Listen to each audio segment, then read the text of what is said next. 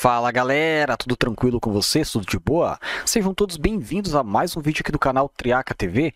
Pessoal, estou trazendo as últimas notícias de World of Warcraft The War Weaven, que está saindo agora. Nós temos notícias referentes a racial dos terranos, buffs de classes, raids também com alterações, reputação e muito mais. Então já deixa aquele teu like maravilhoso, deixa o teu comentário, que ajuda pra caramba o canal e não esqueça do sininho para se manter informado em todas as notícias que saírem.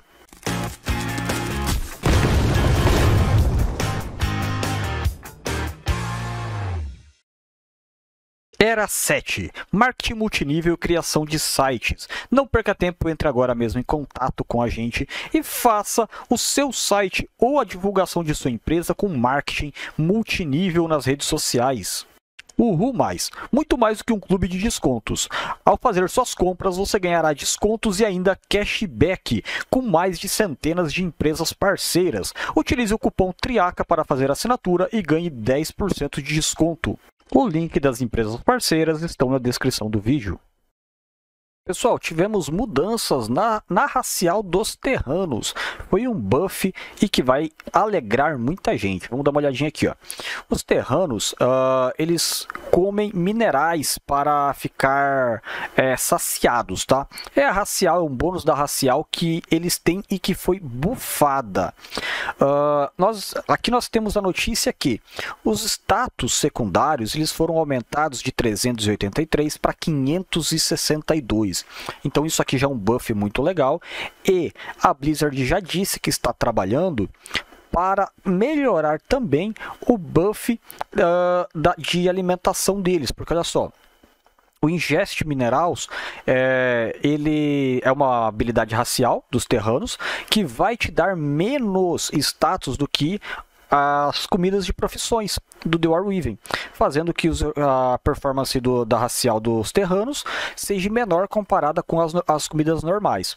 Em resposta, a Blizzard informou, né, que fez o anúncio que vai mudar logo isso, tá? Vai mudar o mais rápido possível, uh, mandando um hotfix que vai ajustar os bônus de 383 para 562 dos status secundários. Já o maior, o maior level de comida normal dá 446 de bônus ou 469 de status secundários, 446 de primário e 469 de status secundários. Então, esse aumento aqui vai ser excelente, cara. Para quem for virar terrano, é excelente. E a Blizzard colocou, dizendo né, que vai soltar um hotfix, é uma nota deles, informando que vai soltar um hotfix com essa correção. O pessoal que escolheu terranos aí para jogar vai ter um buffzinho. Que tal alguns buffs e nerfs na raid Nerubar Palace? Parece incrível quando você escuta a palavra nerf, mas e, quanto, e quando você escuta buff? não é tão legal assim, né, pessoal? Nerubar Palace, mudanças aí, correções de mudança, principalmente para o Hashanah. Vamos dar uma olhadinha. O Grax, pessoal, ele vai ter o feed, o range do feed aumentado em 10 jar, para 10 jardas. Antes eram 8. 8 jardas é normalmente o posicionamento dos ranges, tá? Então, se ele vai ter duas jardas a mais, começa a complicar um pouco para os ranges. Vão ter que se posicionar melhor e ficar atentos à mecânica. Já o Hashanah, o Spinner, Spinner Estes Web Snap, ele vai ter o dano reduzido em 12.5% na dificuldade normal e heróica, excelente. O Web Rive, dano aumentado em 5% na normal, dano aumentado em 10% na heróica e mítica. Já o Infested Spawn, dano aumentado em 150% na normal e dano aumentado em 25% na heróica. O Erosive Spray ele teve o dano reduzido em 63% uh, o dano inicial, e o AOE foi reduzido em 40%, já o dano periódico aumentado em 33% no normal. O dano inicial foi reduzido para 53%, o dano AOE reduzido em 50% e o dano periódico aumentado em 28% na heróica. Já o dano inicial foi aumentado em 135% e o dano ao E aumentado em 100% na dificuldade mítica. Isso aqui eu achei terrorizante. Caustic Raio, uh, dano aumentado em 60% na dificuldade normal e heróica. Infested Bite, dano aumentado em 50% na dificuldade normal e heróica. E o Acid Stupor, o dano aumentado em 100% na normal e dano aumentado em 66% na heróica. Eu, eu achei muito pesado, galera algumas correções que aconteceram dentro do World of Warcraft do Warweaving no dia 4, tá? Saiu a notícia ontem à noite, pessoal. Nós estamos agora meia-noite 44. A notícia saiu no dia 5, referente ao que foi alterado no dia 4, tá? Vamos dar uma olhadinha o que, que foi aqui. The Warweaving, é, correções para o dia 4 de setembro de 2024 é, bugs de classes corrigidos, tá? Então a gente tem primeiramente o Evoker, lá com o talento heróico Scale Commander, foi corrigido o problema nos jogadores eles eram eles tinham lentidão durante o deep breath uh, quando estavam com o talento é, maneuverability e foi corrigido também um problema aonde o bombardment poderia ocasionar na falha do proc se estivesse com o talento Extended Battle. Já o Mage Spell Slinger, com o talento heróico Spell Slinger. Uh, o Volatile Magic, ele não irritava, é, não vai mais, desculpe, ele não vai mais irritar fora de combate ou enquanto você estiver aí com alguma coisa que em algum ad que esteja sob controle, tipo Polymorph, Rex, etc. Tá? Monk. O Key Burst não vai mais consumir duas stacks de ativação de buff quando você castar e dar dois e tiver duas stacks dele. O Paladino, o Downlights dano, ele agora vai escalonar corretamente com a Master, com a Retributions Mastery. Uh, o Downlight, o dano agora vai corretamente dar Critical Strike. E o Downslight também cura AOE, não vai mais dar é, Double Dips com a versatilidade. O Suns Avatar, o dano agora vai escalonar corretamente com o Retribution Mastery. O Suns Avatar e, e também o Downslight no AOE não vai mais dar o dano a inimigos que estão fora de visão. Só para o Retribution corrigido um problema que fazia com Master e High Lords julgamento uh, não aumentasse o dano do Seal of the Crusaders. E para o Warlock de Abolish, corrigido um problema onde o seu Pit Lord ele poderia ser summonado sem que tivesse o sem que aparecesse o visual do portal, tá?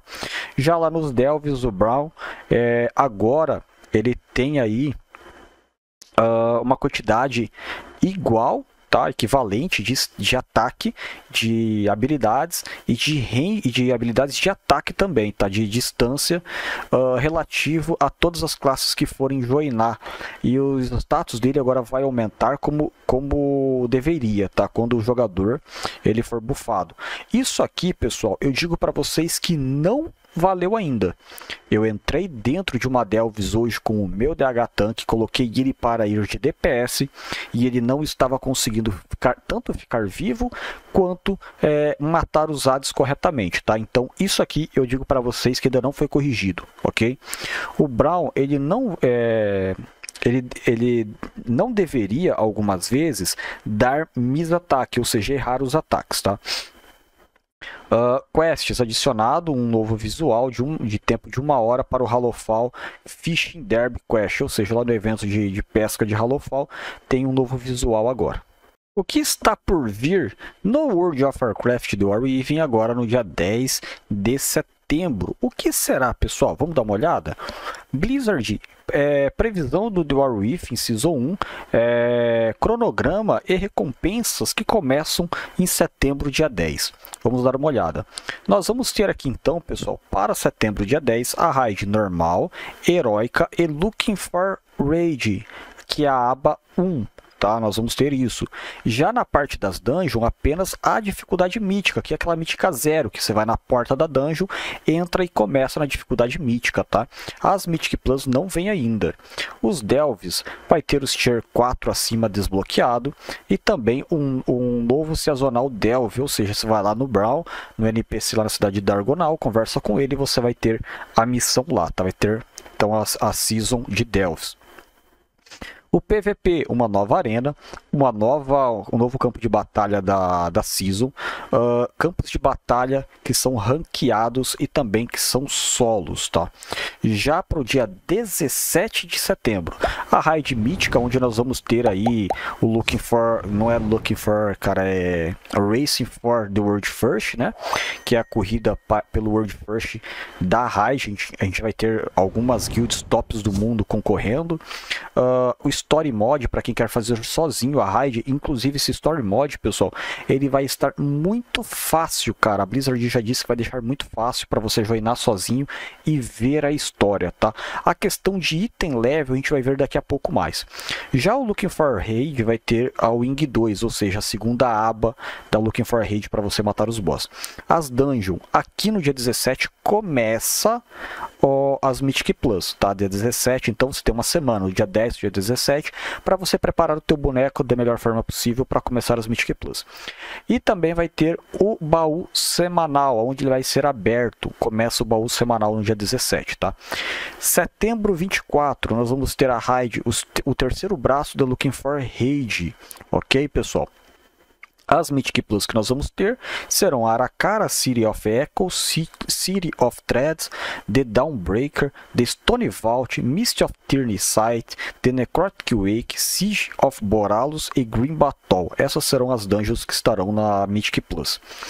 Uh, na semana 10 ali de setembro, pessoal, tudo isso que a gente já falou para vocês, tá? Então aqui a gente tem uma descrição de tudo que foi falado ali pela, pela parte de cima. Uh, a parte de títulos que nós vamos ter, o Keystone Explorer para completar as Mythic Mais, o Dungeon uh, com o tempo, tá? Dentro da Season 1. Uh, ah, os Keystones Conqueror, que você vai fazer aí as Mythic Plus, pegando 2k de, de I.O. Keystone Master, que também é pegar 2k de I.O. na Season 1, tá? Uh, Keystone Hero, que é você pegar 2,500. Cara, 2,500 acho que dá para muita gente pegar, tá? Isso não é o fim do mundo. E depois nós vamos ter mais um aqui que é o 0,1%, tá, galera? Esse 0,1% é o pessoal que gosta ali, que já está mais perto do, do, profissionalismo, né, que vão atrás. Já a parte do PVP, a gente vai ter alguns, que é o Combatente 1, o do Combatente 2, Challenger 1, Challenger 2, Rival 1, Rival 2, Duelist e Elite, é onde vai de 1000 até 2400 Jaiou, tá? Uh, aqui a gente vai ter alguns... Uh, algumas montarias e outros né, que são da parte de PVP e temos também mais títulos aqui, tá? Que esses títulos eles já são referentes a ao PVP, mas eu acredito que eles não são ranqueados, cara. É a parte da, mais da Honor, né? Combatente, ganhar. É, na verdade, que tá como ganhar rating, cara, mas são dois diferentes. Eu não entendi muito bem, porque também não faço PVP, então eu nem fui atrás de saber tanto dele. Mas aqui tá dois tipos de, de títulos para PVP. Nós temos esse aqui de cima, que é sazonal, e esse aqui de baixo. Não sei se esse aqui de baixo também entraria como sazonal, tá? Mas aqui nós temos o alguns, alguns itens que a gente pode pegar com o PVP. E aqui nós temos o Delves, pessoal, que é onde vai entrar também o, evento, o eventozinho do Delves ali, com montaria, customização de montaria e tudo mais, como recompensa. Então dá para a gente ir atrás e buscar isso daí para tentar dar uma ampliada tanto na nossa coleção quanto também nas nossas conquistas aí com os títulos. Como conseguir mais de 2k de Valor Stone? Como burlar este cap e se preparar melhor para a Season 1 de The War Weaving, que vai sair agora no dia 10. Vamos dar uma olhada. Wax Farming por Valor Stone, preparando-se para a Season 1, para o lançamento.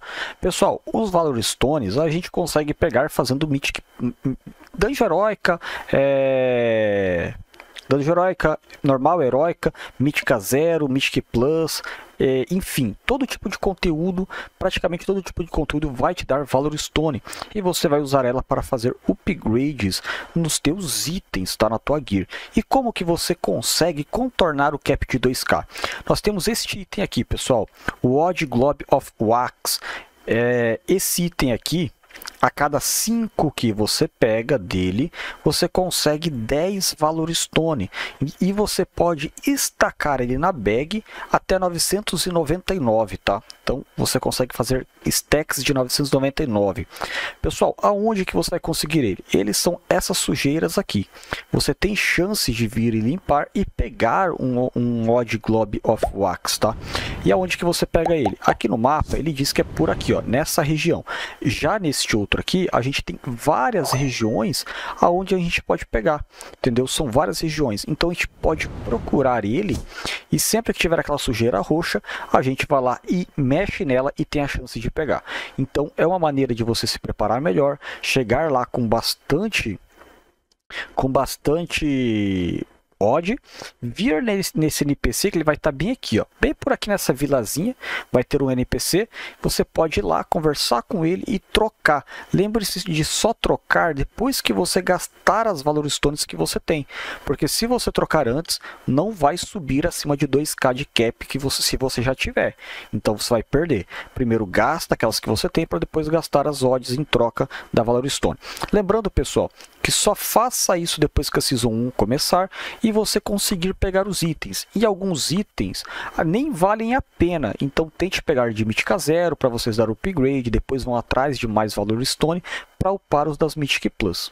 Já cansou de procurar item na H e se deparar com itens de várias expansões e nisso te prejudicava na pesquisa, na tua compra e na tua venda?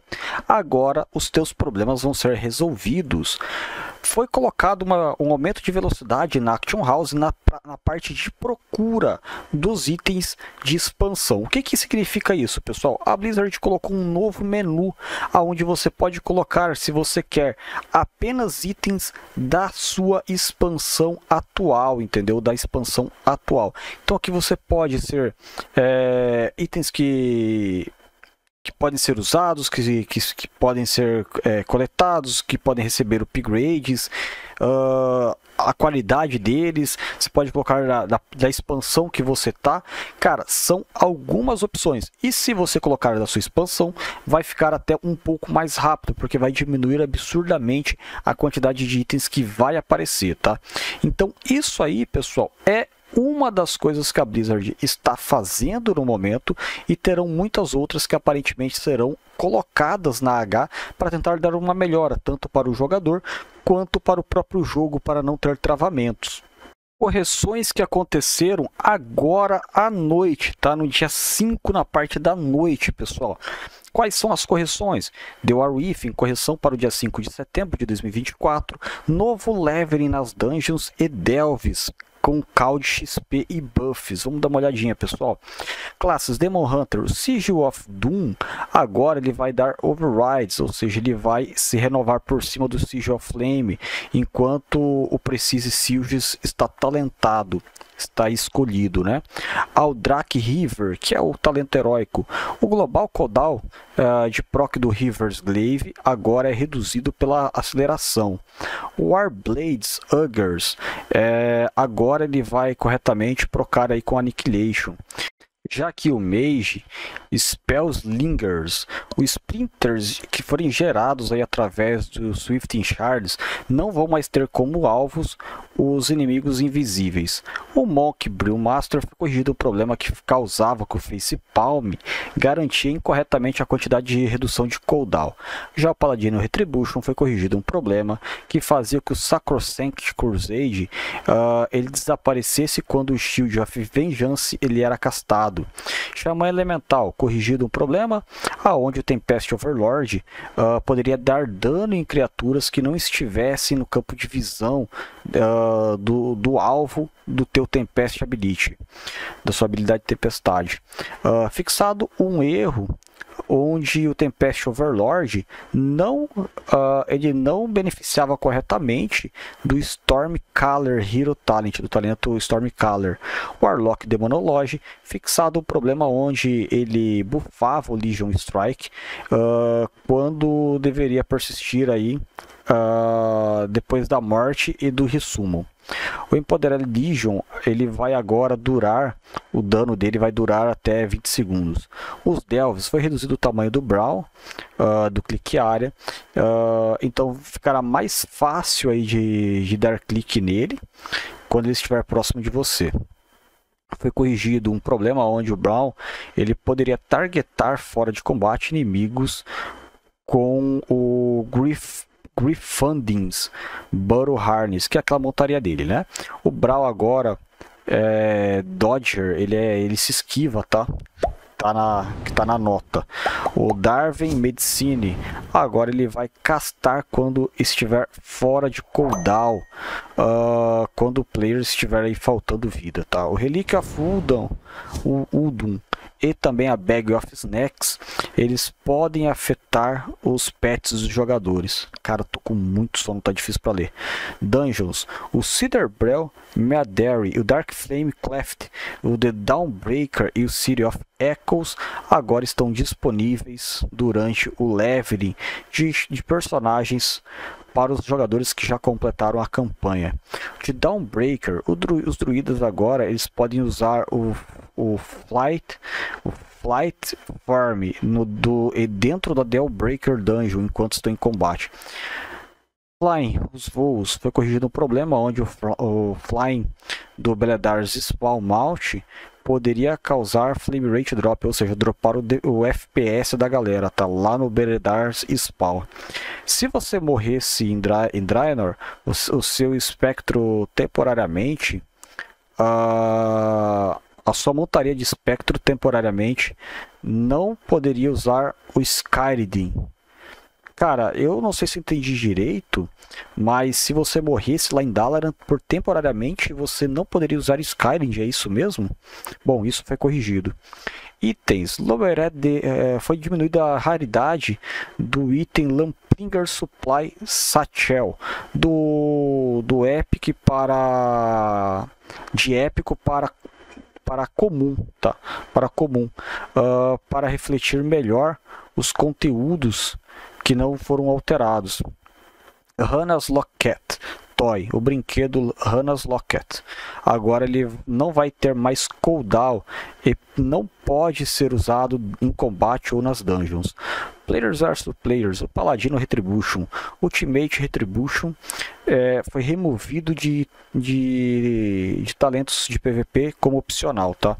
Quests, Vanishing Stalkers agora vai spawnar muito mais do que antes para Lins Rescue. A Tide Needing Turned vai agora vai mostrar a apropriadamente a locação de a localização de início de Dornogal lá no mapa. World Quest agora eles vão aí dar o Spark of War para o Sparks of War Quest semanal fixado um problema onde, após fazer a reset da quest, jogadores não, é, não conseguiam escolher uh, diferentes Severed Threads Pact. Lá nos, nos quatro pactos que tinha lá em Dornogal para semanal, não, depois de cancelar a quest, não conseguia escolher o pacto. Greatly Increase Experience, grande aumento de, de experiência de recompensa para o Delves Cal Quest. Todos os Delves Cal Quests agora podem ser é, pegos uh, para os seus respectivos Delves e também agora podem ser adquiridos no modo Adventure. Novo Devil, Devil Delvers Cal quests foi adicionada para o Hearthclaw Minis, The Waterworks, Nightfall Sanctum e Underdeep. Esses são os locais de cada um, tá? É o nome de cada Delve. Races. Foi aumentado o efeito do Herfen dos terrâneos, né? Wealth Feed, secundário status bônus e o Belgar Gems agora ele, ele vai ser ele vai ser aí uh, vai ter um custo reduzido e vai ser ampliado para, o, para os terranos, tá? As gemas, no caso, elas vão ter melhorias aí para os terranos. Pessoal, espero que vocês tenham gostado desse vídeo, espero que vocês tenham curtido. Eu vou aproveitar para dar uma descansada, vou dar uma dormida. De manhã cedo eu vou acordar bem cedo para tentar gravar mais um tutorial antes da live. Tem mais um vídeo de notícias referente ao patch 11.0.5 que eu quero trazer para vocês ainda amanhã cedo, tá? Então, Espero que vocês tenham gostado, espero que vocês tenham curtido. Tô com essa cara de cansado porque realmente estou exausto, mas estou aqui trazendo as notícias para vocês. Muito obrigado, pessoal. Muito obrigado mesmo pelo apoio que vocês estão dando e a gente se vê nos próximos vídeos. Um forte abraço e até mais. Fui.